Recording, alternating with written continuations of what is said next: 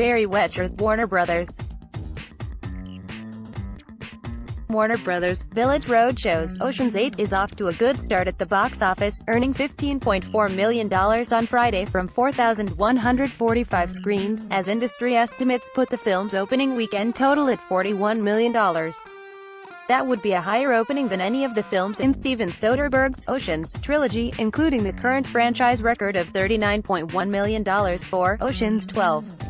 While those films would still have higher openings if inflation is taken into account, Ocean's 11, which opened in 2001, would have a $61 million launch in today's money. It's a sign that Ocean's 8 is on its way to the same long-lasting box office success as its male cast counterparts.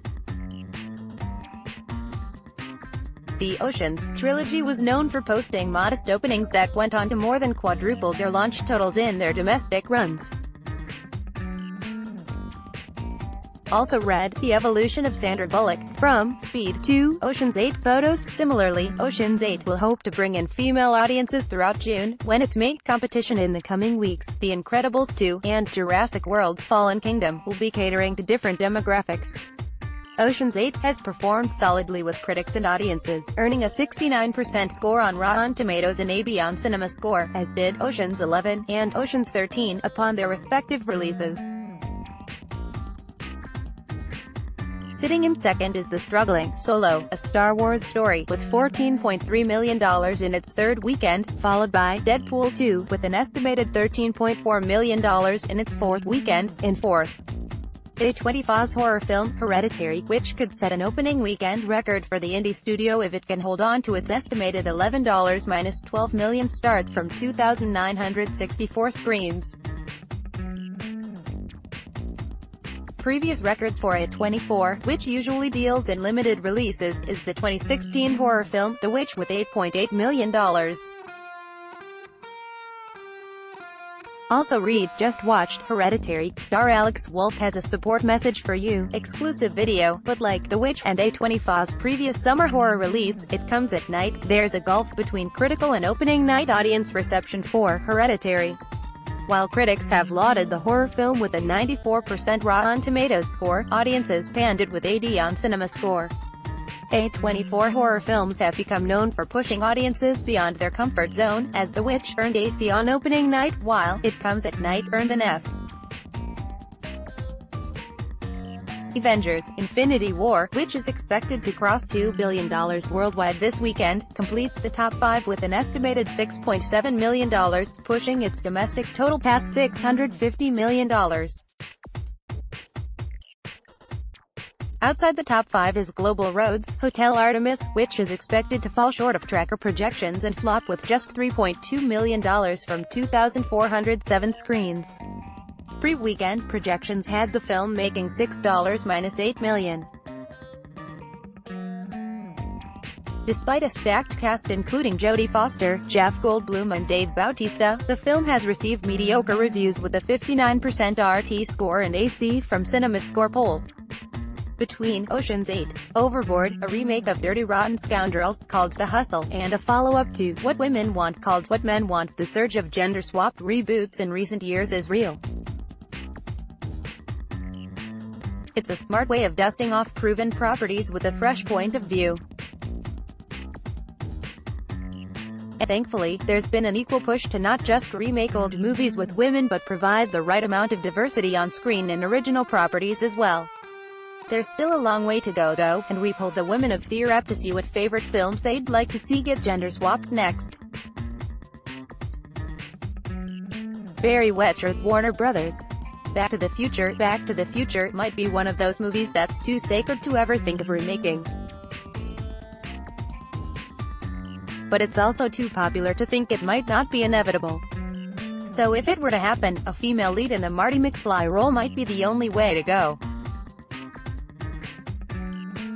The original is a teaching moment for Marty to overcome his flaws as he helps his father come out of his shell, and having a daughter bonding with a young version of her dad on how to get the girl of his dreams could make for an interesting character twist. Universal, The Hangover, you could make the case that there have already been plenty of remakes of The Hangover, a movie that's not even 10 years old yet, including everything from Bridesmaids to Rough Night to the new Netflix movie, Ibiza, but none have been a specific remake of The Hangover, which had a perfect narrative simplicity and a then under-the-radar cast with with surprising chemistry.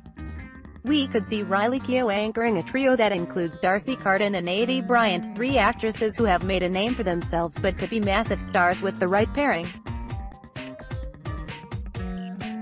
Warner Brothers Reservoir Dogs, Quentin Tarantino has found some explosive parts for women in his films, and we are glad he made Kill Bill and Jackie Brown, rather than just a gender-swapped Reservoir Dogs, so while something like this would never happen, it'd be fun to fancast how he might approach it with an all-female cast. Uma Thurman's a lock. Jennifer Jason Leigh was great in The Hateful Eight, Diane Kruger and Melanie Laurent were formidable in Inglourious Basterds, and Margot Robbie could be a real wild card in his upcoming Once Upon a Time in Hollywood. Imagine them all in the same film. Miramax, 12 Angry Men, a jury full of women for a 12 Angry Women, doesn't seem totally realistic today, let alone if the remake were to be set in the 1950s. In Reginald Rose's teleplay is inherently about how men specifically react and change under pressure. But what if the reboot were called 11 Angry Men, and Henry Fonda's role as the one lone dissenter was a woman? Suddenly the story takes on a perspective of being a woman in a room full of men trying to find her voice. United Artists, Glengarry Glen Ross, another theatrical showpiece in the vein of 12 Angry Men. We'd love to watch an office full of sharp-tongued saleswomen deliver some of David Mamet's most iconic dialogue in Glengarry Glen Ross reboot. Stick Helen Mirren and Jane Lynch opposite some young firebrands and watch out, New Line Cinema, Home Alone, Home Alone, came out in 1990, 28 years ago. So, while it's gotten a few forgettable, slapdash sequels since then, a proper reboot seems in the cards. Quvenzhané Wallis might have been a shoe-in a few years back. Now someone like the Florida Project's Brooklyn Prince might have the mischievous charm necessary to match up with Macaulay Culkin's Kevin McCallister. Pair her with Melissa McCarthy and Kristen Wiig as your burglars and you've got yourselves a hit. 20th Century Fox, The Sting, if Ocean's 8 does well, The Sting, would be the next ideal crime caper to remake. The Best Picture winning period drama has class and creativity that could be ideal for two female grifters. The key is just finding a duo that has the movie star mystique and chemistry of Robert Redford and Paul Newman. We could see an American Hustle reunion in the cards for Amy Adams and Jennifer Lawrence. Universal Twins, Gwendoline Christie is 6 foot 3, even an inch taller than Arnold Schwarzenegger, who played a perfect specimen in Twins, opposite Danny DeVito.